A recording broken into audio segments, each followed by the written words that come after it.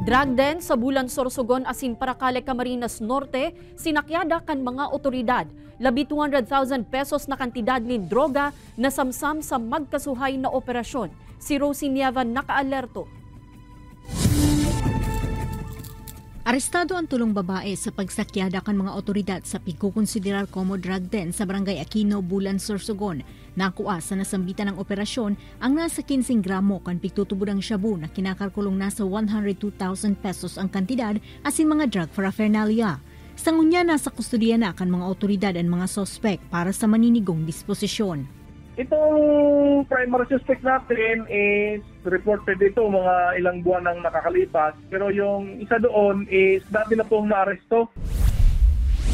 Sa Camarines Norte naman, arestado man ang walo katao sa ikinasang anti-illegal drug operation kan mga otoridad sa pigtutubod drug den sa Purok 2, Bagong Bayan sa Banuaan in Paracale.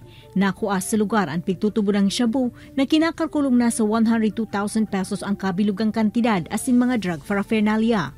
Sa ngunyan, nasa kustudiya naman kan mga otoridad ang mga sospek mantang pigpepreparar ang kasong isusunad kontra sa mga ini. Nagpagirumduman ang Pideya Camarines Norte sa mga taong padagos na nagbabariwas ng droga na punduho na ang sa indang iligal na gibo. Ini si Nieva, Balitang Bicolandia.